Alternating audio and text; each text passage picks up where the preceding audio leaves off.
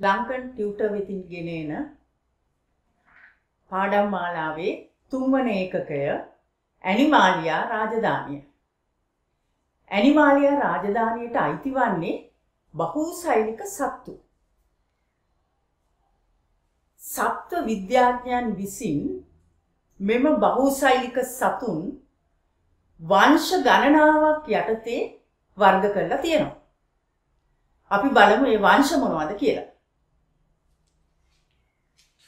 සීලන්ටරේටා වංශය, ප්ලැටිහෙල්මින්තස් වංශය, නෙමටෝඩා වංශය, ඇනලිඩා වංශය, මොලුස්කා වංශය, ආත්‍රපෝඩා වංශය, එකිනඩර්මේටා වංශය සහ කෝඩේටා වංශය. සීලන්ට්‍රේටා වංශයේ ඉඳලා එකිනඩර්මේටා වංශය දක්වා අයිති වන්නේ අපෘෂ්ඨ වංශී බහුසෛලික සත්තු. කෝඩේටා වංශයට අයිති වෙන්නේ පෘෂ්ඨ වංශී.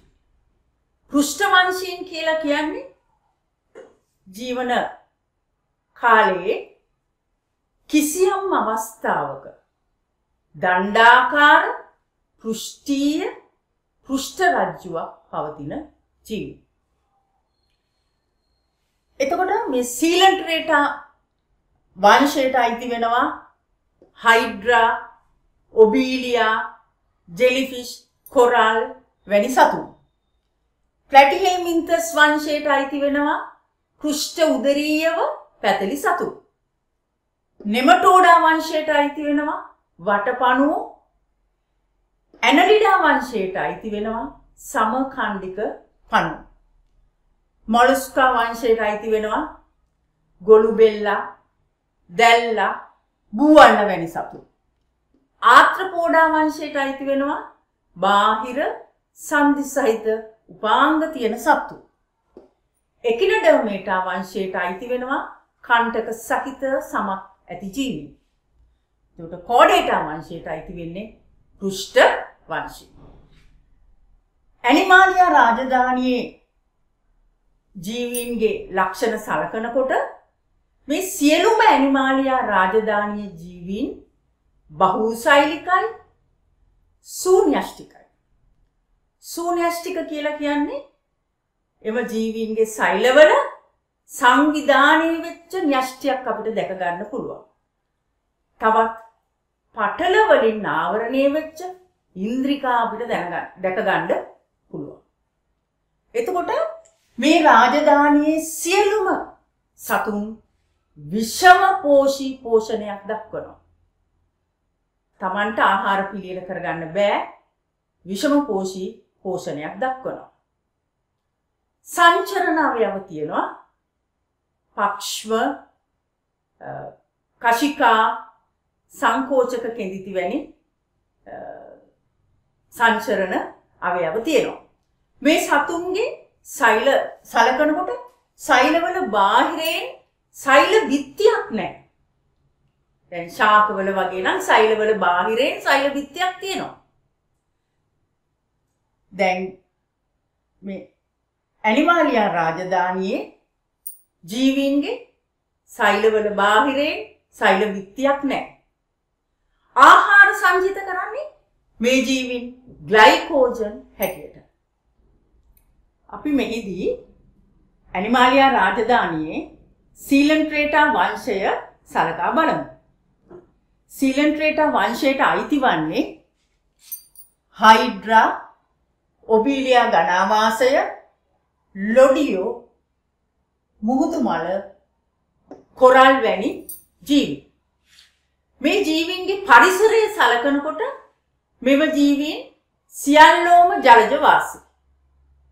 ඇතැම් අය මිරිදියේ ජීවත් වෙනවා, ඇතැම් අය කරදියේ ජීවත් වෙනවා. මිරිදියේ ජීවත් වන සතෙකුට උදාහරණයක් වශයෙන් හයිඩ්‍රා අපට සලකන්න පුළුවන්. කරදියේ ජීවත් වන සතුන්ට කොරල්, ලොඩියන්, මුහුදු මල ආදී ජීවීන් සලකන්න පුළුවන්. මෙම ජීවීන්ගේ ජීවන රටාව සලකනකොට නිදැලිවාසීව ජීවත් වෙනවා සමහර ජීවීන් උපස්තරයකට සවි වෙලා ජීවත් වෙනවා. කිසිම අවස්ථාවක පරපෝෂිත ආකාර පරපෝෂිත ජීවන රටාවක් මෙම සතුන් දක්වන්නේ නැහැ. මෙම වංශයේ සතුන්ගේ අපි ලක්ෂණ සලකනකොට මේ වංශයේ සතුන් අරීය සමමිතියක් දක්වනවා. අරීය සමමිතියක් කියලා කියන්නේ මධ්‍ය අන්මායාම අක්ෂය ඔස්සේ තල කිහිපයකින් කැපීමෙන් සමාන භාග දෙකක් ලබා ගන්න පුළුවන්.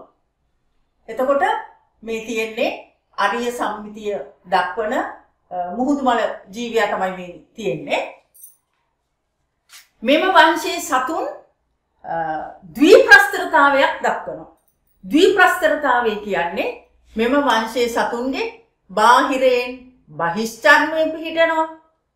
අභ්‍යන්තරයෙන් අන්තස්චර්මය පිහිටනවා. එතකොට අභ්‍යන්තරයෙන් තියෙනවා අන්තස්චර්මය කියන ජනක ස්තරය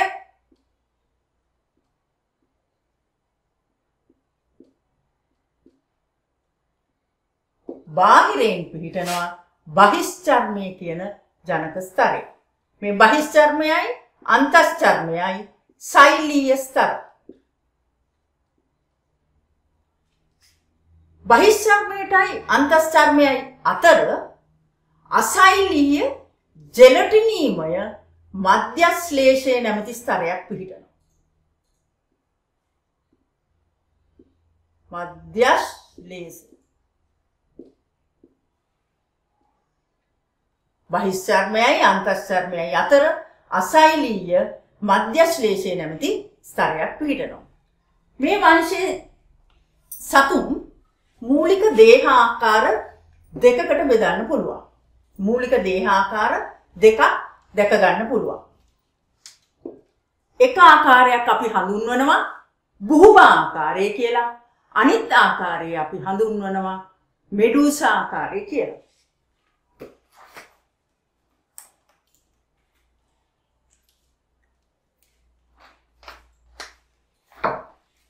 බුහුබා ආකාරයේ සලකනකොට මේ විදිහට සීනු ආකාර හැඩයක් තියෙනවා. එහෙම නැත්නම් කෝපාකාර හැඩයක් තියෙනවා.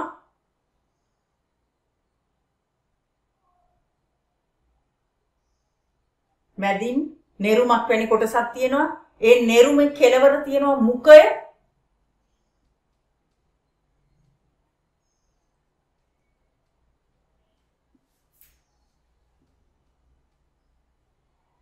ග්‍රාහිකා පිහිටනවා.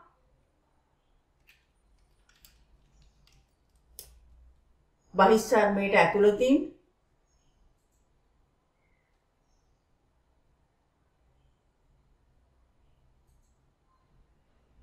අන්තශ්චර්මයේ පිහිටනවා. ඒ ස්තර දෙක අතර මධ්‍යස්ලේෂය පිහිටනවා. එතකොට සීනු හැඩයක් ගන්නවා. මුඛය නෙරුමේ කෙලවර මුඛය පිහිටනවා. සීනුවේ ධාරේ ග්‍රාහිකා තියෙනවා.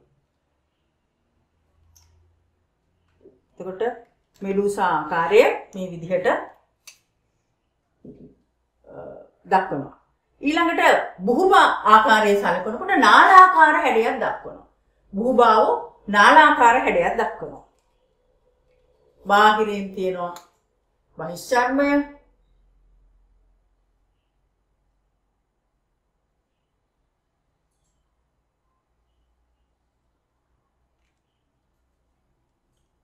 අභ්‍යන්තරයෙන් පිහිටනවා අන්තශ්චර්මය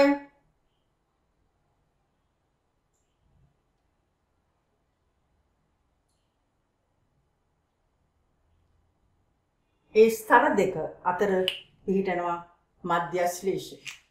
එතකොට මේ මැදින් මෙතන ඝනකම් මධ්‍යශ්ලේෂයක් තියෙනවා මෙඩූසාගේ බුහුබාවගේ මධ්‍යශ්ලේෂය සාපේක්ෂව තුනී මධ්‍යශ්ලේෂයක් තියෙනවා.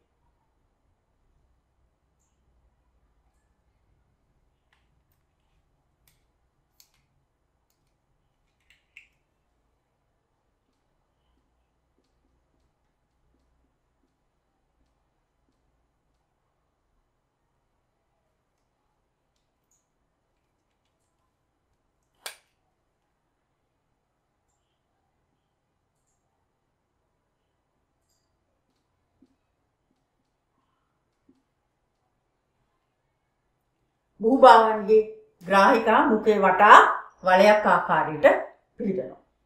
එතකොට මේ සියලුම සීලෙන්ට්‍රේටාවන්ගේ ශීර්ෂණයක් දකින්න නැහැ. ශීර්ෂණයක් කියන්නේ හිසක් වැනි කොටසක් විකසනය වෙලා නැහැ.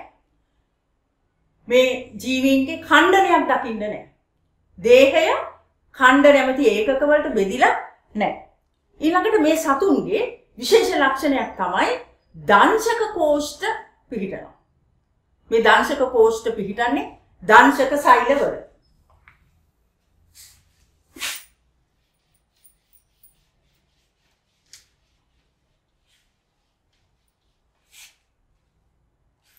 දංශක සෛලයක් සලකනකොට මේ ආකාරය ගන්නවා.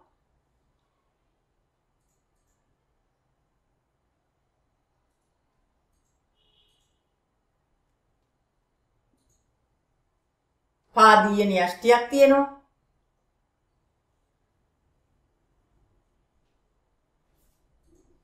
එතකොට මේක පාදීය න්‍යෂ්ටිය.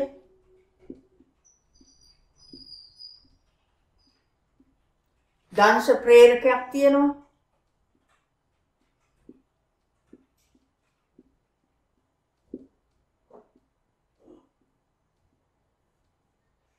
විෂාඩංගු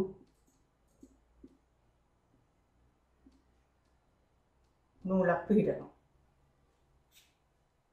මේ දංශක සෛලය ඇතුළේ දංශක කෝෂ්ඨය කියලා එකක් තියෙනවා.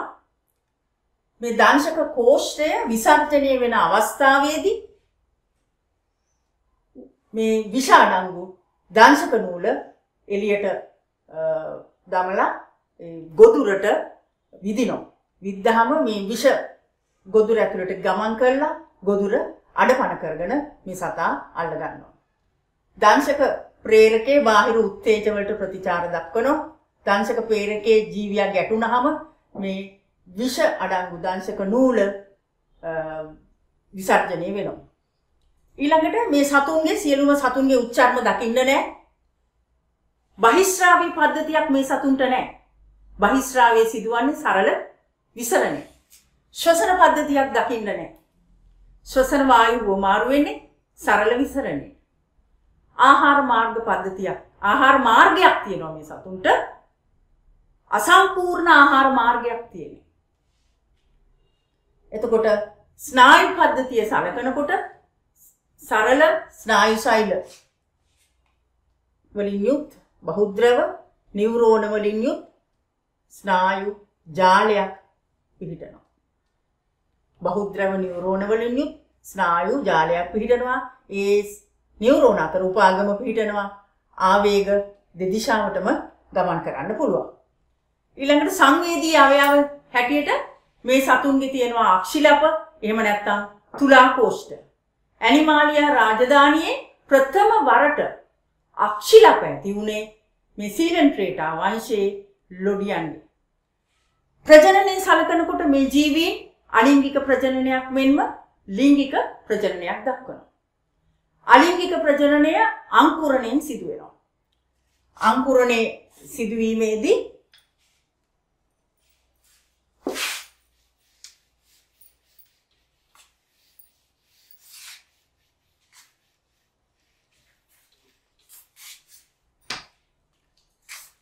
මව් ජීවියාගේ බාහිරෙන්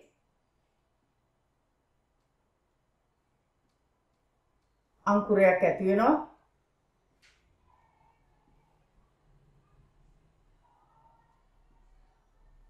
මේ අංකුරේ ඊට පස්සේ ගැලවිලා ගිහිල්ලා ස්වාධීන ජීවියෙකු ලෙස ජීවත් වීමේ හැකියාව තියෙනවා. ලිංගික ප්‍රජනනය සලකනකොට මේ සතුන්ට තියෙන සරල ප්‍රජනේන්ද්‍රිය තියෙනවා.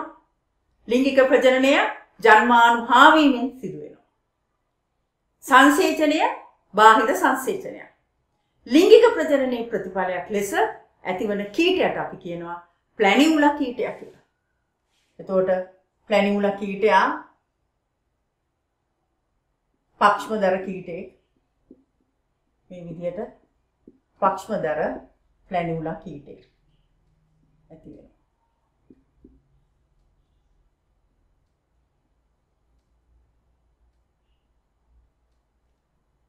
එතකොට මේක තමයි අංකුරය. ඒක ලිංගික සතුන් මෙන්ම ද්විලිංගික සතුනුත් මේ වංශයේ දැක ගන්න පුළුවන්. මෙම වංශයේ සංජනනාත්මක ලක්ෂණ මේ වංශයේ ජීවීන්ට පමණක් ආවේනික ලක්ෂණ සලකනකොට දීප්‍රස්තරතාවය මධ්‍යශ්ලේෂය මධ්‍යශ්ලේෂයක් පිහිටීම දංශක සෛල පිහිටීම ආදිය සලකන්න පුළුවන්. මේ වංශයේ සතුන්ට දේහ කුහරයක් දකින්න නැහැ. සීලන්ට්‍රේටා වංශයේ වර්ග සලකනකොට හයිඩ්‍රසෝවා වර්ගය, ස්කයිටසෝවා වර්ගය සහ ඇන්තසෝවා වර්ගය සලකන්න පුළුවන්. හයිඩ්‍රසෝවා වර්ගයේ ප්‍රමුඛ අවස්ථාව බුහුබා අවස්ථාව. මෙඩූසා අවස්ථාවක් තියෙනවා. එතකොට මේ ජීවීන්ගේ මුඛේ වටා ග්‍රාහිකා වලයකට පිහිටනවා. එතකොට මේ වර්ගයට අයිති වෙනවා හයිඩ්‍රා, ඔබීලියා වගේ සතුන්. මේ සතුන් අරිය සමමිතියක් දක්වන සතුන්. ස්කයිපසෝවා සතුන්ගේ මෙඩූසා අවස්ථාව තමයි ප්‍රමුඛ. බුහුබා අවස්ථාව කුඩාවට එහෙම නැත්නම් නෑ. කුඩා අවස්ථාවට පිහිටනවා. එහෙම නැත්නම් නෑ. මුඛය වටා මෞක බාහු හතරක් පිහිටනවා. මුඛේ වටා මෞක බාහු හතරක් තියෙනවා. සීනුවේ ධාරේ වටා සූත්‍රිකාකාර ග්‍රාහිකා දකින්න පුළුවන්. උදාහරණයක් වශයෙන් හයිඩ්‍රසෝවාවන්ට ලොඩියන් අපට සලකන්න පුළුවන්. ලොඩියෝ එහෙම නැත්නම් ජෙලිෆිෂ් කියලා කියනවා. එතකොට ඇන්තසෝවා වර්ගයට අයිති වෙන්නේ බුහුම අවස්ථාව පමණයි මේ සතුන් තනි තනිව එහෙම නැත්නම් ගණාවාසීව ජීවත් වෙනවා. තනි තනිව ජීවත් වෙන සතුන්ට මුහුදු බල සලකන්න පුළුවන්. ගණාවාසයක් ලෙස ජීවත් වෙන සතෙකුට කොරල් සලකන්න පුළුවන්. මුඛේ වටා මෞක මඩලේ ග්‍රාහිකා වලයකට පිහිටනවා. එතකොට මුහුදු මල කොරල් මේ වර්ණයකට ගන්න පුළුවන් ඇන්ටසෝවා වර්ගයට. එතකොට කොරල් සලකනකොට කොරල් වලට බාහිර සැකිල්ලක් තියෙනවා. මේ රූප සටහන් වලින් පෙන්වලා තියෙන්නේ සීලට්‍රේටා වංශයට අයත් ජීවීන් කිහිප දෙනෙක්. මේ ජීවියා හයිඩ්‍රා මිරිදිය වාසී ජීවියෙක්. මේ ජීවියා මුහුදු මල කරදිය වාසී ජීවියෙක්. මේ ලොඩියා ජෙලිෆිෂ් කරදිය වාසී. එතකොට මේ හයිඩ්‍රාගේ පාදස්ත මණ්ඩලක් තියෙනවා. මුහුදු මලේ පාදස්ත මණ්ඩල තියෙනවා. ලොඩියන්ගේ පාදස්ත මඩලක් නෑ. හයිඩ්‍රගේ ග්‍රාහිකා තනි වලයකට පිහිටනවා. මුහුදු වලේ ග්‍රාහිකා වල කීපයකට පිහිටනවා. ජෙලිෆිෂ්ගේ සූත්‍රිකාකාර ග්‍රාහිකා සීනුවේ සීනු හැඩති සීනුවේ ධාරේ වටා පිහිටනවා. සීනු හැඩති ලොඩියා. එතකොට මෞක බාහු හතරක් තියෙනවා මුඛය වටා.